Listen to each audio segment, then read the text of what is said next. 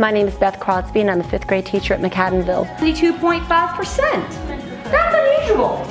The reason I'm a teacher today is because there's, without teaching, there would be no other professions in the world. There aren't any other jobs that I can think of where I get to be a teacher, a social worker, a psychologist, a doctor, a mom, a friend. My goal is for them to come out confident in themselves and understanding that they have the ability to be a lifelong learner. Zero.